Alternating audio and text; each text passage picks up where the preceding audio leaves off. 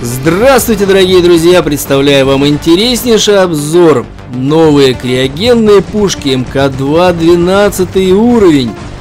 На старых роботах тоже, конечно, буду показывать. Итак, старичок Лео на легких криогенных и на тяжелой криогенной пухе сейчас займется вредным спектром. Спектру был объявлен страшный выговор с занесением в грудную клетку в ховер на подходе. Дерзкий-дерзкий, но я отхожу срочненько на перезарядочку.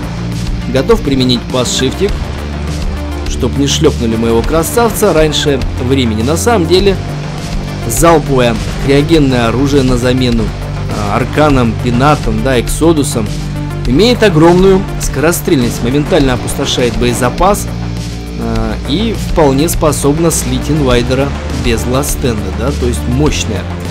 А, идет накопление урона, появляется снежинка. Точнее, накопление пробиваемости урона над противником загорается снежинка. И весь последующий, входящий в грудную клеточку робота урон э, растет в геометрической прогрессии. То есть это реально больно.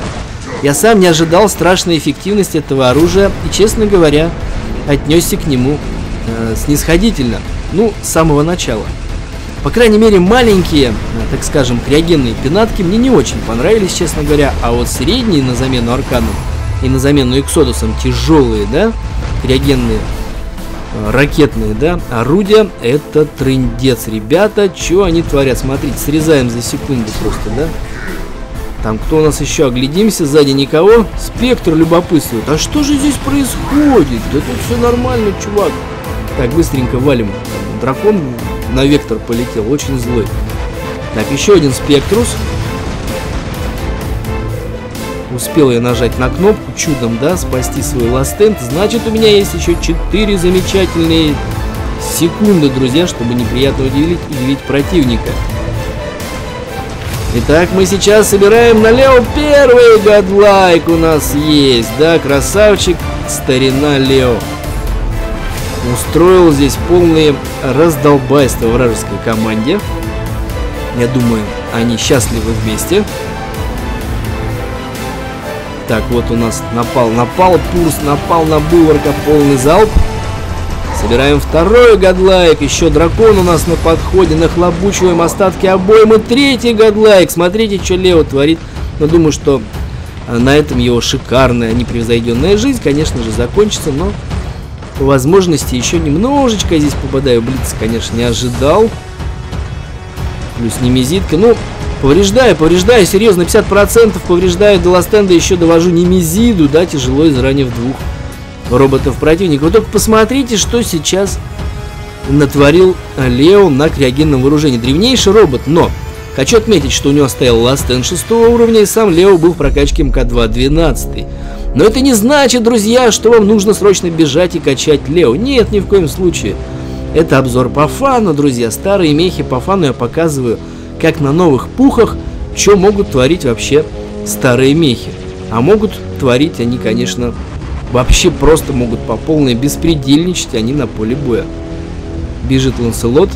Вас подманить! Сейчас идет замена Лео жестко на всю обойму накатываем булварку и сразу же отходим. Стоит интересный модуль, укрепляющий на 20% щит у Ланселота. У мелкого пилота тоже укрепляют щит Ланселота, плюс умение, отключающее основную способность. Он и без нее офигенно будет бегать сейчас. Просто как каскадер по карте. Хана тебе арест, братишка, все. Пора на пенсию. Так, а что у нас здесь? Тоже Арес. Одна проблема, очень станется резво всегда Ланс. Ну, щит, щит держит, посмотрите, да, удар двоих Аресов мы выдержали, но на самом деле э, понес повреждение по ХП.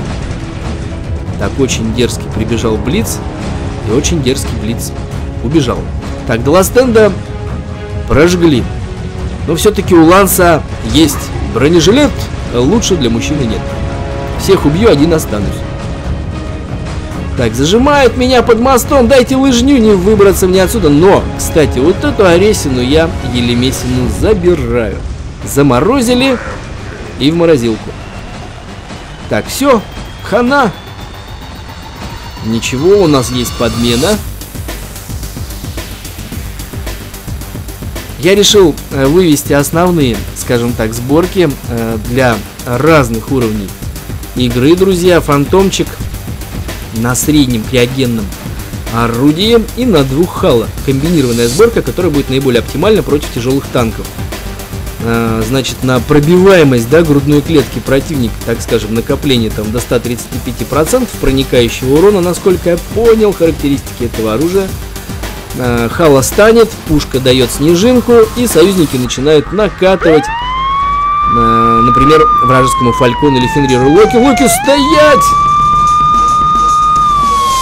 Погоня, погоня, погоня, горячей крови! Погоня, погоня, погоня!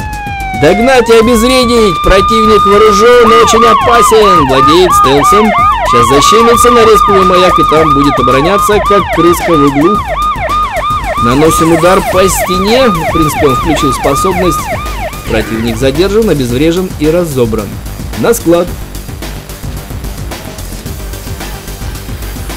Вы уже поняли, друзья, что весь основной урон, представленный в этом бою, большая его часть будет, конечно же, за стареньким дядей Лео. 2014 год выпуска, медленный поворот корпуса, полное отсутствие способности до хрена хп, старинная боевая машина – когда-то представленной германской немецкой линейки. Ну, так скажем. 2 миллиона урон, 12 убитых.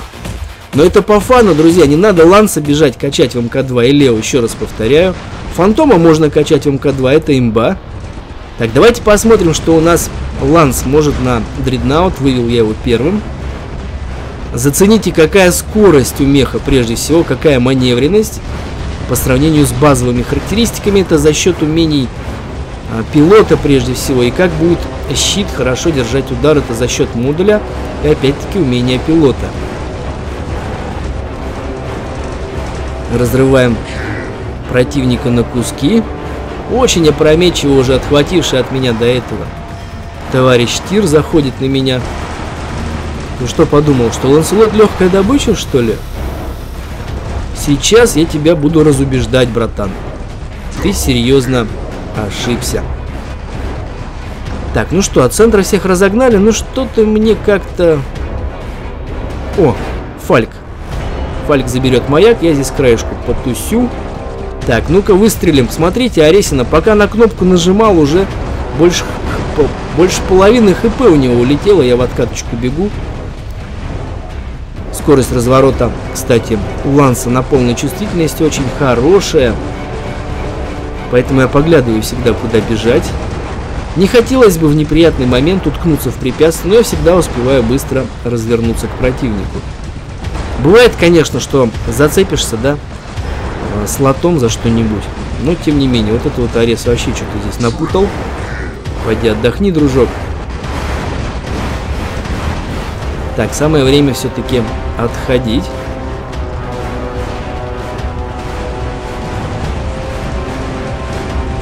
Держит еще щит меня. Ох, держит. Чем мне нравится новое вооружение, бешеной скорострельностью, отличным сплэшем и мгновенным нанесением разового серьезного урона. Достает противника за препятствием, то есть делает то, что не могут энергодробовики и что не могут кинетические дробовики, например, шторма. Офигенно рубит за препятствием, не нужно никуда выбегать напрямки на противника, можно действовать как раньше, можно было профессионально работать на арканах, на откатах, э, по углам препятствий, работать по диагоналям. Смотрите, второй гадлайк собираем на лансе. Злой дядя Ланселот порубил всех в центре и держит центральный маяк. Милости просим, подходи по одному. Всем выпишем премию с занесением в грудную клетку. Выходим строиться, что там поныкались все за препятствием. Вот так могут работать старые роботы, друзья. Жестко. Еще один гадлайк. Есть кто? О, Меркурий, здорово! Сразу текаем.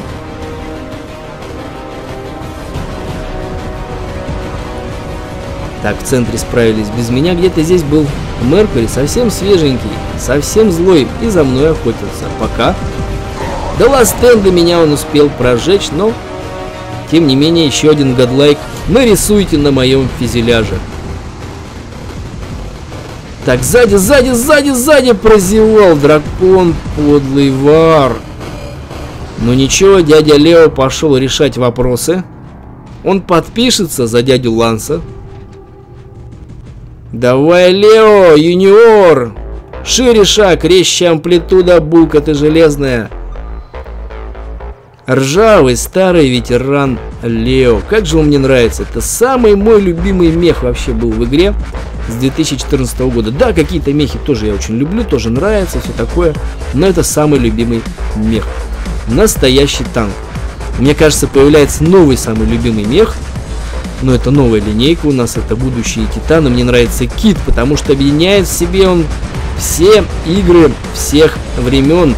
А, с 1980 года начались такие вселенные игры, как MechWarrior, Battletech, а, потом был Мех Командер, да, и такие мультики, Мегатрон, Роботек и э, фильмы Робот Джокс, Тихоокеанский рубеж. И вот мне э, все это в себе объединил Титан э, Кит, пилотируемый огромный робот. Это вот уже реально вот вселенная реально войны роботов, огромных роботов, War Robots. Уже чувствуется, я, честно говоря, на э, тест-сервере покайфовал, да, когда поиграл на этой огромной интересной машине. Ты чё здесь вообще трешься, мелочь пузатая? А ну кыш! Чуть до ластенда не довел до белого коленя. Опять бежит, что ли? Ну-ка, отгоним. Что-то противник уже не хочет идти связываться с дядей Лео в центре. Блиц проклял мои орудийные системы. Маленькая ведьма. Так, до ластенда доводим. Товарища Фантомчика. Надеюсь, хватит. Помогает мне, ребят, с ним справиться. 2700 хп осталось. Хана моему Лео. Тем не менее, еще успеваем забрать Блица. Что там, присоска, что ли? Чую присоска за углом, предчувствие у меня. Вот, присосался, все. Хана Лео. Героев убивают всегда присоски. Прямо в пузо и через препятствия. Но все равно у нас победа, зацените. Я на двух мехах всего, на старых отыграл этот бой. Миллион шестьсот, восемь убитых, первое место в стате, сравните с другими уронами. Это Лига Чемпионов, друзья. Но еще раз повторяю, не надо бежать, прокачивать в МК-2. Лео Ланселот, обзоры по фану. Показываю максимальные возможности разового штурмового урона новых криогенных орудий. Пухи крутые. Реально крутые. Мощный. Ну-ка, полноценный залп в грудную мишень сквозь снежинку. И смотрите, как сразу урон проходит, даже взлететь дракошка не успевает. Потому что стрелял в стену, потом уже рядом с ним. А если цель в стелсе, э, и за целью стена и оружием, которое имеет splash, стрелять в стену, урон по цели наносится стопроцентный. Это для тех, кто не знает, как работали арканы. На самом деле очень эффективно. Но это для тех, кто не знает. Я думаю, что все-таки вы уже все опытные. Все, вы все знаете, друзья. Я верю. Так, задача на лансе держать центр. Карта Вали, заброшенная база во Вьетнаме. В этом локе шмакодявка. Так, шмакодявку прогнали. Посмотрите, Булрак пошел центр, центр оборонять. Пойти за ним? Опасненько это дело, Ватсон.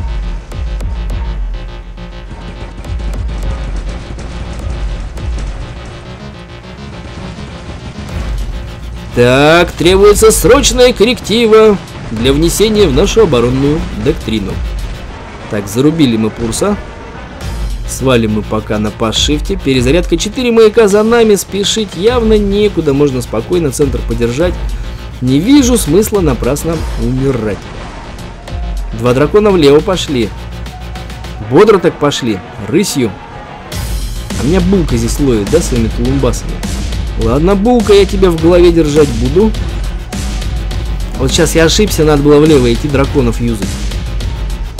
Надо было драконов юзать, смотри, меня прожаривает, как больно, а? Больно, мне больно, придется по shift потратить.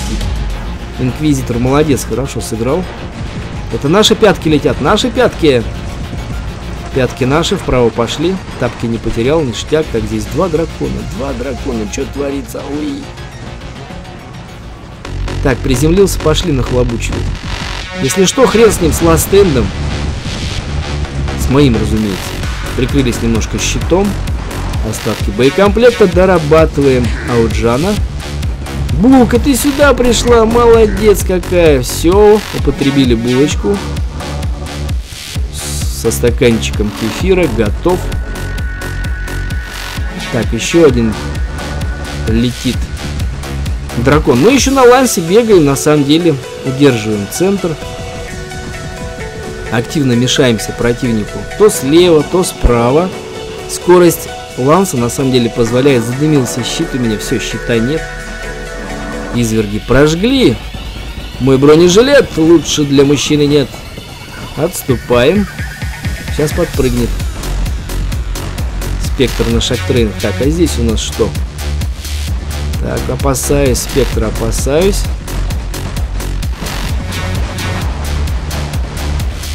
Ничего, у меня есть, если что. Извини, извини, подпер тебя Арес, извини, подпер. Оба сейчас горели, кстати, от Ауджана. Ауджан может две цели прожигать. Кто не в курсе, нужно стрелять по задней. Тоже такой маленький вам секрет.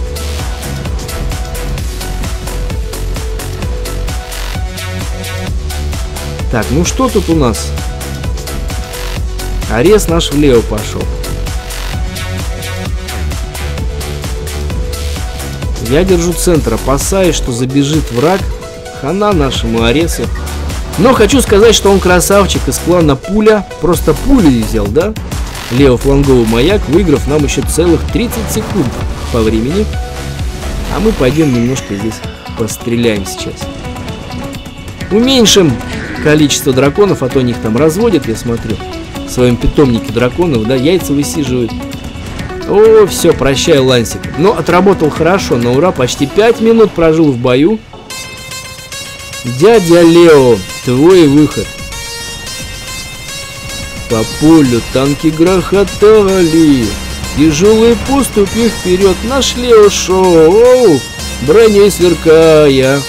Сейчас пальнем со всех стволов. Опа, по шифту драпанул изверг и взлетит. Молодец, и так профи отыгрывают.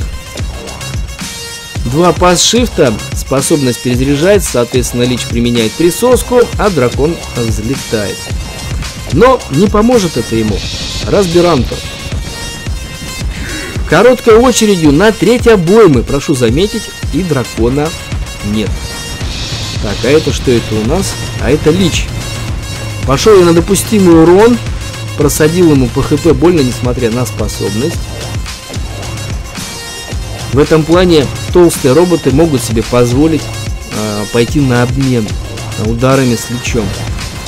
Не призываю так делать, друзья, конечно, ни в коем случае. Тут зараза, дракон сейчас прожарит. Так, удалось не применять еще раз мне пошив. Так, а это у нас что? Это снова лич. Я жертвую своим ластендом и иду на обмен с ним ударами. И уничтожая с половиной хп на способности, хотя он игнорировал 90% входящего урона. Вот что такое криогенные пушки для борьбы с танками. Неприятная штука, ребята. Если вас зафигачили с криогенной пушки, мой вам совет сразу уходить по пошивке. В противном случае над вами загорится веселая снежинка, зима близко и ледяные э, ходаки стоят над вами, занеся большие косы. Это значит, что у вас пошло накопление на пробитие дополнительное, да, э, тушки вашего робота еще на 135%. То есть, грубо говоря, ХП улетит в момент вот такого этого ланса просто. И все. И нету ланса.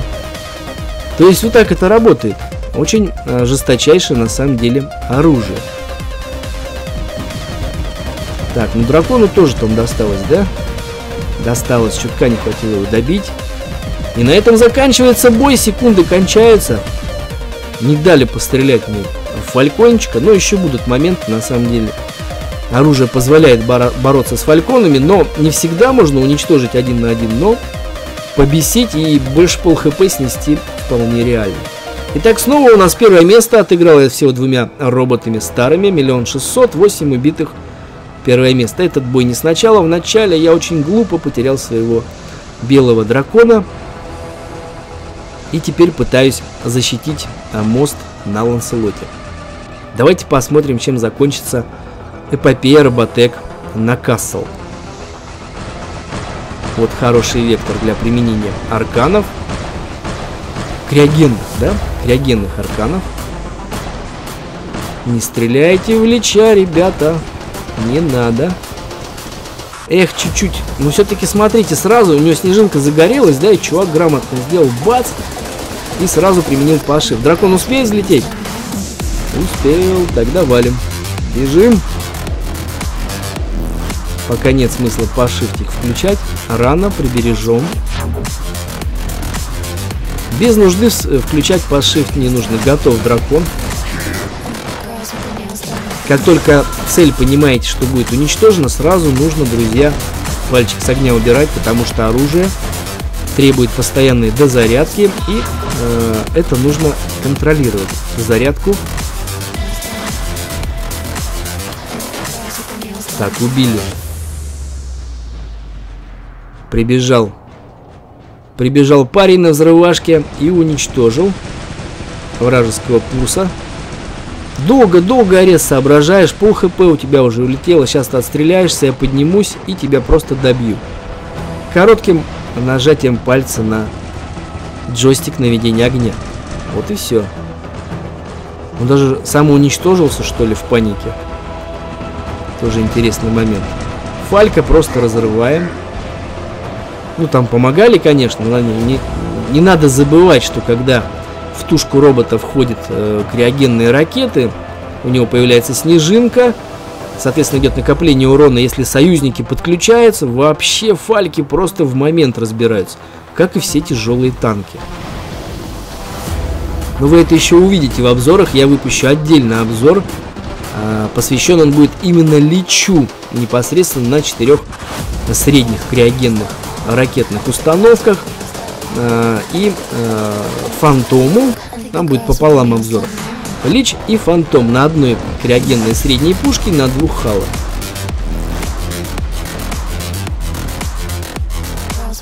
Посмотрите, как там будет на самом деле отыгрывать Фантом и Лич. Тоже полная жесть. Добиваем Ареса, не успевает он отойти. Спокойно абсолютно держу. Мост уже весь бой здесь. Ничего не могут со мной сделать. Так, почти добили там дракона.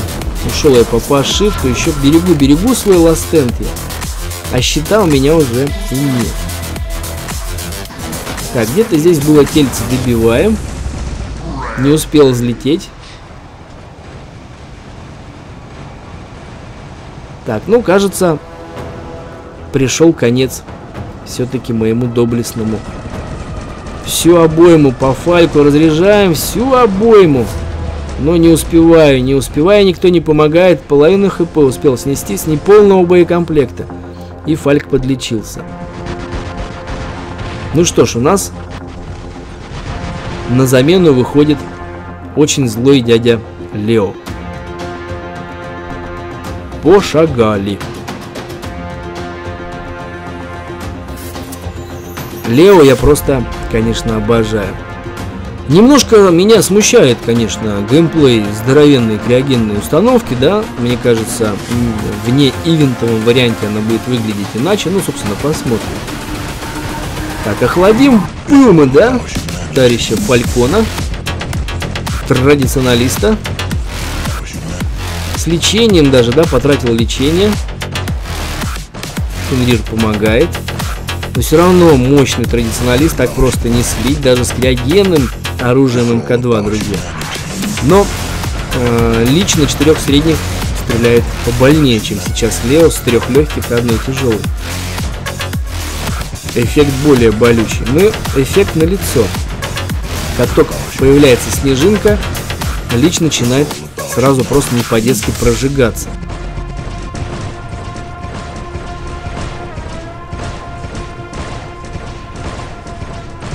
Не успел нажать на лечилку «Готов». Но застанил, большие роботы легко станется быстро, вот это, конечно, мне не нравится. И у меня еще огромная просьба к товарищам разработчикам. Вы можете старым роботам всем дать активный модуль и абсолютно всем дать три пассивных модуля. Всем роботам дать три пассивных робота. Это увеличит количество игроков э, в игре. Будет больше онлайн. Вас будут меньше ругать. Ну и это уважение к старым роботам, которые сделали War Robots именно War Robots, да, так скажем. Вот такой красивый у нас splash. В зеленом облаке утонул Арес. Так, сейчас мы его добьем. Его пристрелили просто с требушета, да, headshot. Когда прогорел Last Stand, да, справа во флангу у нас там злой требушетник есть. Который, кстати, внимательно следит за ситуацией на поле боя. Просто красавчик. А мы вальяжно топаем налево на вражеский респ. Так, добьем, пожалуй, Инквизитора и, может быть, успеем даже добить Дракона.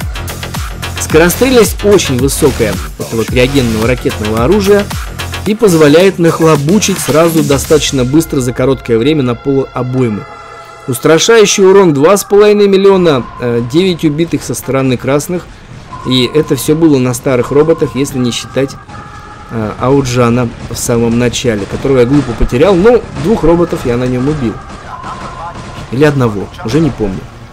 Ну, задачу он свою выполнил погиб геройски.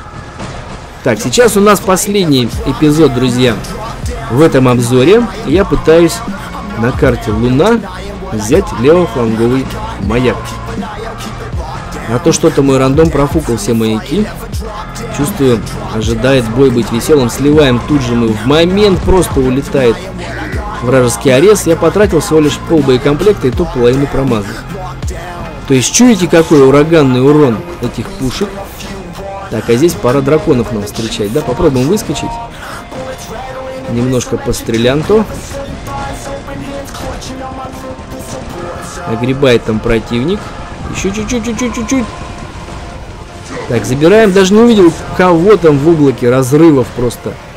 Льда и пламени. Кого мы там забрали? Так, валим арес. Включай свою шарманку. Прикрой, братишка. Так, ну до ластенда-то мы его чипикнем сейчас. Ух ты, смотри-ка, по пашифту отошел. Маяк покрасил в белый цвет. Настоящий Том Сойер. Так, а это Гекельбери Финн прилетел. Понятно, мы с Тамарой ходим пары, но я за препятствием пытался слить чувака и не успел. Теперь я по паршифту отхожу. На выходе с паршифта полная очередь тебе в грудак залеплю, дружище. Огонь! Так, готов. Успел убить, по паршифту ушел. Дракон сверху ошибся, погиб, и я возвращаюсь на маяк. Вот такие у нас тут шахматные такие дела пошаговые происходят на левофланговом маяке. На самом деле противника-то на себя мы отвлекаем вместе с Аресом. Живой он-то нет, не вижу. Так, а это у нас кто там? А это у нас дракон, до ластенда его. Меня тоже до ластенда. Дракон взлетел. Кажись, кирдык моему. Вдвоем меня. Вдвоем зажарили. Разозлил. Ну-ка, дядя Лео. Подсоби малость на левом фланге. У него одна беда. Застанет, убьют. А модуль пассивный всего один. Я ставлю ластен. Вот еще бы парочку, то можно было бы поставить ему, например, ну, естественно, антиконтроль, да, и можно на урон поставить, к примеру, термонуклеореактор. Вот это будет тогда ужас, а не дядя Лео. Ну вот, заразы, вынудили меня по shift потратить. Второй дракон меня зажарит. На выходе этот включит шарманку. Еще раз трачу пасшив, деться некуда, повредил Ареса. Ну хоть дракона-то убью. Прогорел ластенд. Ах ты злыдень. Успел включить. И застанил. Все. Хана, дядя Лео. Он боится стана. Ну, такой большой, а стана боится. Что ж поделаешь. Так, ну вот как раз момент. Я думаю, что отдельный обзор буду посвящать я друзьям Ауджану на тяжелых криогенных ракетных установках дистанции ведения огня 300 метров. Мгновенный просто выброс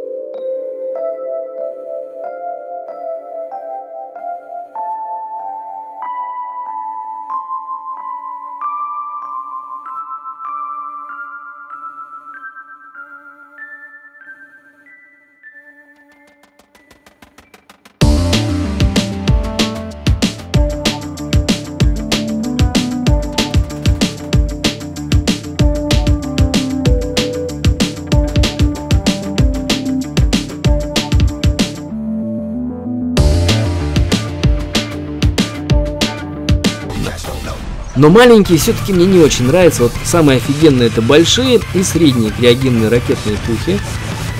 Вот давайте сейчас Фалька нахлобучим. Заработала снежинка. Он применяет лечилку. Сейчас у него по ХП перезарядится, он применит сразу еще раз лечилку. И потом она уже не скоро сработает.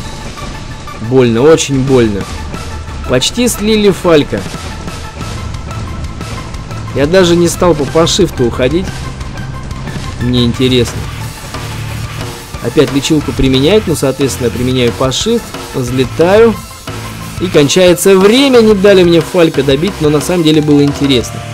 То есть есть чему бояться-то товарищам Фальконом, Фенриром, ну и всем ребятам с сопротивлением урона. Так, глянем, кто тут у нас был, да, личи есть, но еще нужно качать итальянцам свои ангары. Но это момент просто по фану решил показать, как дядя Лео сейчас завалит двух драконов. На этом моменте я с вами прощаюсь, друзья. Мы увидимся с вами в новых обзорах и стримах на канале. Подписывайтесь, не пропускайте новые сюжеты. И на канале скоро будут новые интересные конкурсы. Конкурсы, соответственно, на стримах. Включайте уведомления. Всем удачных боев и отличного настроения. С вами был VR Commander.